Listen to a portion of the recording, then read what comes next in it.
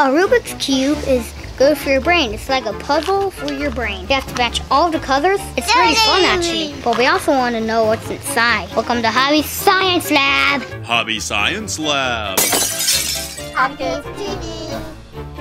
Hobby Dad's gonna help us out and get this thing opened up. There is a surprise at the end, so keep watching. We're gonna be watching through the window. Never attempt. Ever.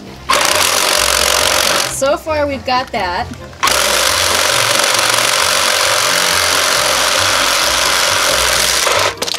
It just turned into million pieces. Look at them. Whoa. Whoa. So that's like a ball on the inside. Yeah. That's a quality Rubik's Cube. Whoa. Whoa. Cool. The It piece just is falls apart. breakable. Ball on the outside of a ball. Yeah. It's kind of weird. So it's kind of like a ball thing. Whoa. Weird. So it looks like one piece has three colors on it. Oh. And then it rotates around a ball that's on the inside. That's a brain twister. Oh, is that cool, Hobby Bear? Yeah. Yeah, I think so too. Oh, let's show you. That is cool. How do the pieces attach? They're free moving. So they're all free moving except for those? These are the only ones that are standard. Wow. So these are the only ones that are actually attached. All the other ones are free moving.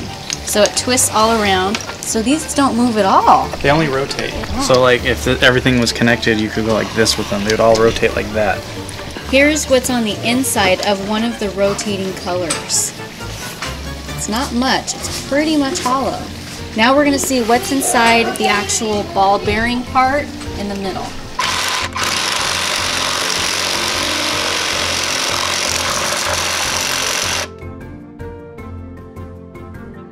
Does it have springs? Yeah, it looks like it does. So it keeps it uh, free moving so it doesn't break as easy. That's a quality Rubik's Cube. That is amazing. All the little parts on the inside. Wow. Who'd have thought?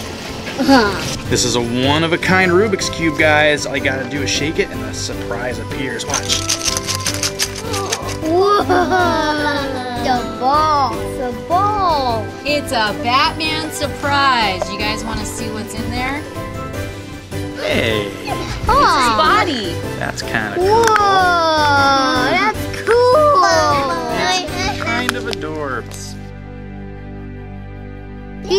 backwards.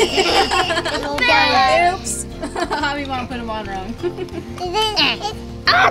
Did you know the Rubik's Cube was invented in 1974 by Erno Rubik? He wanted a working model to help explain three dimensional geometry. It took him one month before he was able to solve the cube for himself. Over 350 million Rubik's Cubes have been sold worldwide, making it the best selling toy of all time. We definitely give that a thumbs up. What other cool stuff would you like to see opened up? Make sure to leave your comments and give this video a thumbs up if you enjoyed. Hobby Science Lab. Make sure to subscribe too, so we know you love seeing what's inside stuff like we do. Thanks for watching. Toodaloo!